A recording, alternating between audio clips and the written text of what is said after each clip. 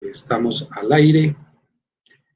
Bienvenidos nuevamente a este espacio de la red de creación escénica, Voces en Escena, un espacio para eh, realizar diálogos, diálogos que construyen memoria alrededor de la formación artística y específicamente de la formación teatral. La red de creación escénica es un programa de la Alcaldía de Medellín y 12 instituciones eh, del sector eh, escénico de la ciudad en asocio. Hoy tenemos a Alejandra Quinchía, Alejandra Quinchía Castrillón. Ella es eh, beneficiaria y participante de la red en el laboratorio base del Teatro Popular de Medellín. Eh, Alejandra, primero que todo, buenas noches. Eh, y cuéntanos un poquito, ¿quién eres tú? Cuéntanos quién es Alejandra y, qué hace Alejandra en la vida. Bueno, claro que sí. Eh, muy buenas noches para todos. muchísimas gracias, Rubén, por este espacio. Y bueno, Alejandra tiene 22 años. Eh, está en estos momentos en ingeniería en sistemas. Actualmente es desarrolladora de software en SmartFit. Y bueno, hace parte de este programa desde hace aproximadamente 10, 11 años, pasando por varios profesores, por varios teatros. Y, ahora en el TPM, eh, pues ya de lleno con todo este proceso. Aleja, em, cuéntanos, llevas 10, 12 años en, la red de creación, llevas 10, 12 años en un proceso, entre comillas, de formación, ¿cierto? Pero más que formación hay otras cosas. Cuéntanos qué has encontrado tú en estos 10, 11 años en la red. Eh, pues definitivamente yo creo que pues todo ese proceso me ayudó a encaminarme y a saber cómo qué era lo que yo quería. Y entre eso que yo quería, pues me di cuenta que el arte es muy integral y eso nos lo enseñan todos los días.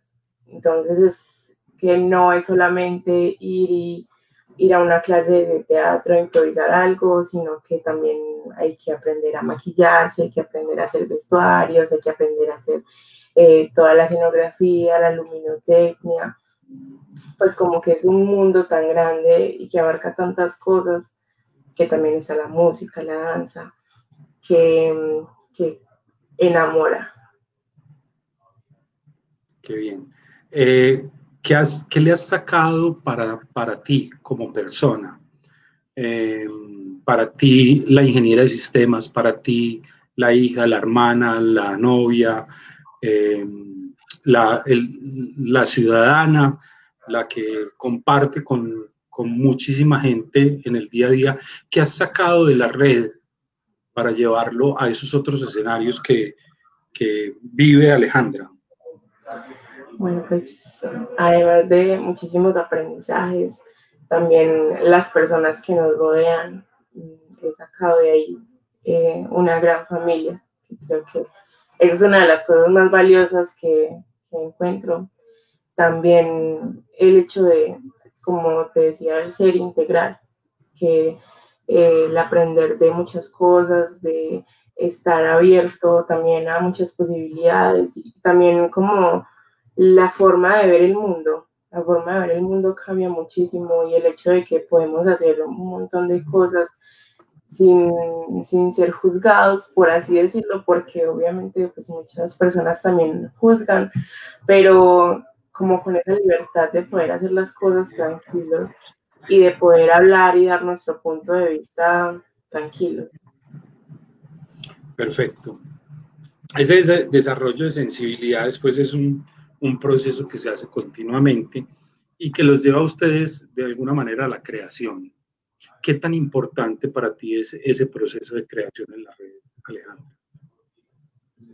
Mm, pues pues porque eh, sin, este, sin este proceso yo creo que muchas personas que no, no, no, encontrarían como su camino y no, no tendrían una forma de ver el mundo, porque muchas veces el arte se convierte en la forma de vivir y de, de tener como una razón eh, para estar. Creo que eso es lo más importante de estos procesos de creación y es que, es que le dan a los jóvenes otro tipo de herramientas para vivir su vida. Alejandra, ¿quiere ser una gran artista o ya lo es? ¿Qué crees tú? Pues yo creo que me falta, porque no veo muchísimos maestros pues que, pues, por ejemplo, mi, maestra Astrid Elena, pues yo creo que obviamente el nivel es muy diferente, pero, pero bueno, no, igual para eso son estos procesos, para que uno siga aprendiendo, para que se anime, para que tenga el apoyo de esos grandes maestros para después poder convertirse en uno de ellos. Has estado 10, casi 11 años en la red, has visto, me imagino que pasar mucha gente, muchos compañeros de escena. Mm, ¿Qué te ha mantenido ahí? ¿Qué te ha mantenido en esa constancia? Eh, independiente de tus otros eh, aspectos de la vida. Pues, yo, pues al menos de mi parte, yo creo que el arte mm, también me dio una razón para estar aquí. Y es, y es eso, pues yo el día de mañana, yo me quedé sin hacer eh, teatro un año y yo supe que ese año era suficiente para yo decir que no lo iba a volver a dejar, porque no, no veo mi vida sin, sin estar haciendo arte en general, más que todo teatro, porque me llena muchísimo, me llena muchísimo y me gusta mucho lo que hacemos. Entonces, yo creo que eso es lo que más me ha mantenido y el hecho de que, de que encontré un grupo que es muy bueno, que es muy unido, y que tiene una característica muy importante y es que reciben a todo el mundo, que no se juzga si tú eres muy grande, si tú eres pequeño, si tú estás gordito, si eres flaquito, si sabes bailar, si sabes cantar, si sabes cualquier tipo de cosas, que no existe ese hecho de estar juzgando, sino que simplemente recibimos con amor. Qué bueno, hablemos un poco de ese grupo. Eh, cuéntame cómo es cómo está conformado, cómo es la relación que tienes tú con los otros integrantes, eh, más o menos de qué edad son, ¿cierto? Un poco conocer el interior de ese grupo. Sí, bueno, pues eh, hemos estado por rangos de edades entre los 12 hasta los 26, 27 años y pues hasta el momento nos hemos entendido muy bien con ese rango de edades pero pues si llega alguien más pequeño o si llega alguien muchísimo más grande también. Incluso eh, el año pasado pues tuvimos la oportunidad de trabajar con otro grupo eh, de Campo Valdés en el que pues había personas mucho más mayores y también nos entendimos muy bien. Entonces pues este grupo es como eh, muy abierto a las posibilidades y a las cosas y, y lo bueno es que nos hemos mantenido muy unidos y que queremos hacer como muchas cosas y que siempre nos estamos como proyectando al futuro. Cuéntame un poquito cómo surge, em, cómo surge la creación en ese grupo. ¿De dónde salen? ¿Dónde salen las ideas? ¿De dónde sale, eh, digámoslo, la creación, no solamente de los personajes, del espacio?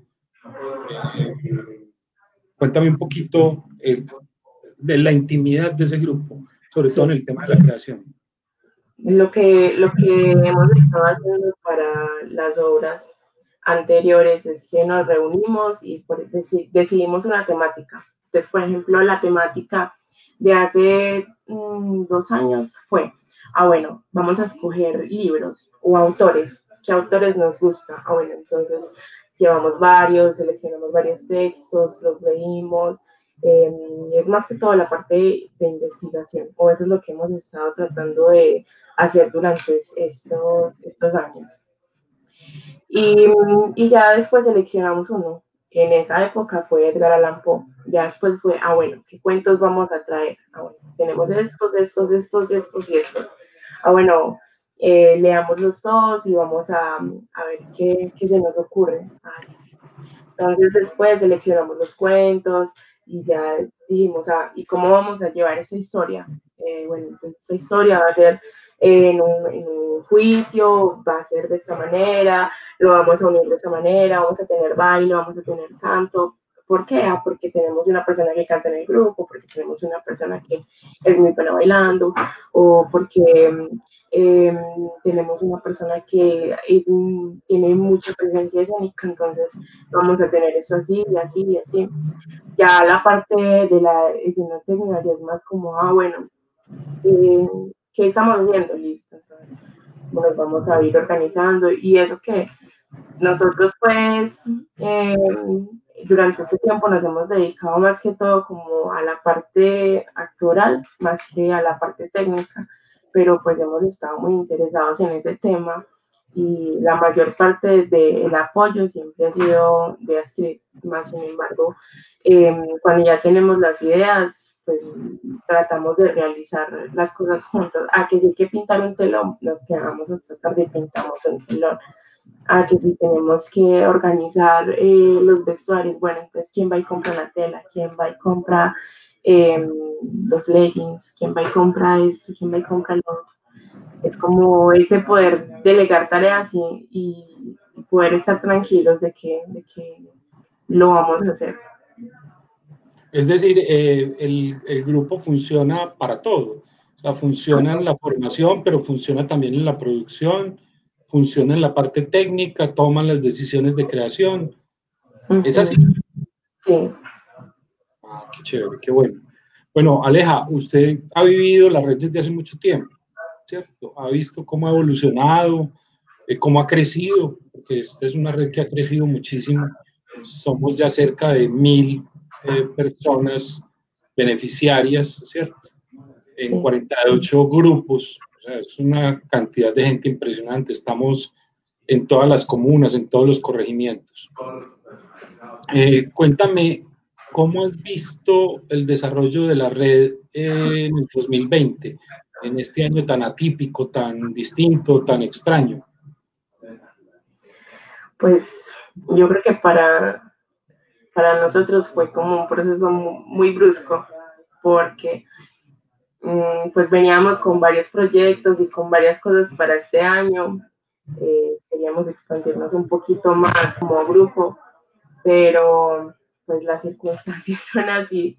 Sin embargo, lo que hacíamos era que eh, reuníamos memorias, en, algún momento tratamos de em, también realizar como estudios de algunos libros, textos, o nos encontrábamos em, pues virtualmente para, para leer texticos, poemas, eh, cuentos, eh, hace unos días hicimos el análisis de, de un libro eh, y bueno, pues en estos momentos también estamos pues, tratando de hacer eso. También analizamos películas, pues como que tratamos de dinamizar un poquito la cosa porque pues era, era pues, complicado como no estar juntos porque estábamos muy acostumbrados. Y, bueno, pero pues hubo un, momento en el que ya no se pudo acomodar eh, tan seguido el encuentro, porque pues, pasan muchas cosas y pues ha pasado mucho tiempo. Pero, pero estamos retomando de a poquito eh, todo este tema de, de las actividades grupales. ¿Cómo, ¿Cómo, ha sido para el grupo apropiarse de tecnologías como esta que tenemos, ¿cierto? De reuniones eh, donde antes se podía uno oler al otro, mirarlo de cerca, verlo, sudar. Eh, ahora mirarlo a través de una pantalla, eh, mirarlo de alguna manera mediatizado porque no lo ves cuerpo entero, lo puedes estar viendo en plano medio, puedes estar viendo el rostro, primer plano. ¿Cómo ha sido eso, esa mediatización para ustedes como integrantes y como beneficiarios y participantes del proceso formativo y creación? Sí, pues nosotros hemos tratado de sobrellevarlo lo mejor que podemos y, y, y, pues bueno, nos reímos cuando nos reunimos y nos reunimos en, pues en son bien, pero, pero pues hay que tener en cuenta que muchos también vivían en pueblos y que, y que la conectividad es un poco complicada. Entonces que muchas personas tampoco tenían un, computador o que el celular pues no es tan potente como para tener ese tipo de aplicaciones con los que nos conectamos. Entonces, digamos que por ese lado ha sido un poco complicado porque pues obviamente nosotros también queremos vernos entre todos y, y como el saber que mm, uno de nuestros compañeros pues no lo puede hacer por por el solo hecho de que no tiene un celular o que no puede tener o no puede comprar en ese momento un paquete de datos, ha sido complicado.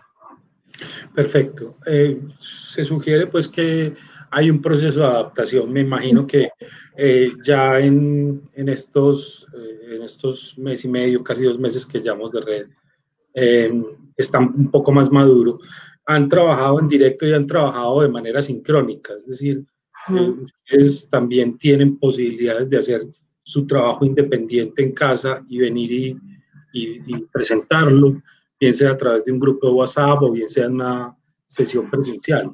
Eh, ¿Cómo ha sido tener esa posibilidad de lo asincrónico, de trabajar independiente eh, de las sesiones y y venir y presentarlo al grupo. Sí, pues yo creo que también nos da la posibilidad de pensar un poquito más como en las cosas y de reinventarnos también, porque esto ha sido pues uno de los mayores retos y es el, el reinventarse el reinventarse para hacer las actividades o preparar, por ejemplo, para toda la semana. Ah, bueno, es que el, el domingo vamos a, vamos a hacer una actividad de la memoria, entonces con esa actividad hay que llevar fotos ahora, entonces hay que buscar las fotos, hay que, hay que revisar que si estén bien o, o, que hay que tenemos que leer un libro, que tenemos que hacer una pequeña exposición, entonces es como, como ese pequeño tiempo extra que también uno puede tener para dedicarle el tiempo que uno desee a, ese tipo de actividades. Entonces creo que eso es una ventaja también, eh, por un lado, porque pues, nos da como la posibilidad de que, de que ah, yo no lo puedo hacer hoy, hoy, hoy, hoy, bueno, yo mañana busco el ratico y, me trato de organizar para que, para que podamos ver esta actividad completamente. ¿Has sentido que esa adaptación ha sido eh, de todos? O sea, eh, digamos lo que todos han, han tenido como el, la misma disciplina o, o digámoslo, unos se pegan más a la transmisión en directo y, y otros se, eh, trabajan más por cuenta de ellos. Sí, porque pues, mm, como te digo, pues muchas cosas han cambiado y la mayoría eh, pues se tuvo que conseguir un trabajo y eso, entonces no estaban acostumbrados a el tener que estudiar, trabajar y después ir a teatro y hacer las actividades y hacer tareas y hacer esto y hacerlo. Entonces como que ese, esa, adapta, esa adaptabilidad pues ha sido como un poquito compleja, pero igualmente en el caso en el que, por ejemplo, una actividad que se había planeado no se pueda realizar, no es como que, ah, bueno, no, ya no podemos hacer nada, sino que, ah, bueno, entonces, ¿qué vamos a hacer? ¿Qué, qué vamos a hacer en, el día de hoy?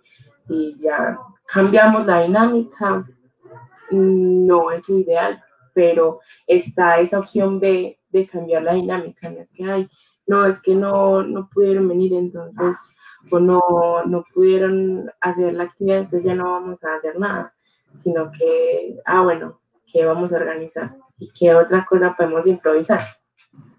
Ok, perfecto. Aleja, em, hay que aclararle a la gente que la red de creación escénica va más allá de lo formativo, ¿cierto? Que fue con lo que comenzamos hablando. Em, es una posibilidad que tiene uno como, como ciudadano de, de, trabajar sus sensibilidades, ¿cierto? Y tiene, eso sí, como objeto cada año la creación, por eso el nombre, ¿cierto? Y cada grupo la afronta de manera distinta. Cada grupo, incluso, eh, digámoslo, hay especificidades. Eh, entonces, unos trabajan circo, otros trabajan teatro social, otros trabajan performance. Eh, y cada grupo lo asume, asume la creación, digámoslo, de una manera diferente. Sé que ustedes son un grupo donde todo el mundo participa en la decisión. Los he visto trabajar. Eh, ¿Qué hay para el 2020 en el TPM? ¿Ya empezaron esa discusión? Sí, sí, desde el principio de año estábamos pensando en monólogos y pues en estos momentos seguimos con esa idea.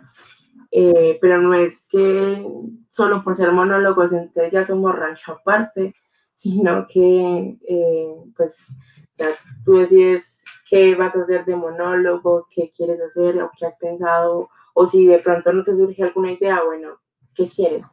Entonces es como esa ayuda también de, ah, bueno, eh, pues yo no tengo muy claro qué, texto quiero hacer o qué quiero decir, eh, pero podemos organizarnos, entonces nos reunimos y decimos, ah, ¿qué tal si usas este autor o usas este texto? O, ah, como tienes esta idea, entonces, ¿qué tal si la escenografía es esto y esto y esto? Eso ayuda a que nos aclaremos como un poquito más.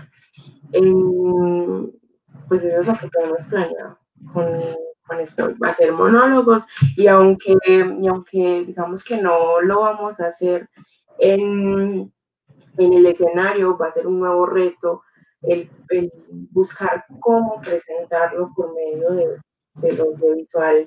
Eh, este monólogo. Ese, ese, esa era mi, mi, próxima pregunta, sobre todo usted que es ingeniera, eh, eh, usted está en ese, en ese, proceso de formación de ingeniería de sistemas, que tiene que ver mucho con la tecnología. ¿Cómo van a involucrar la tecnología?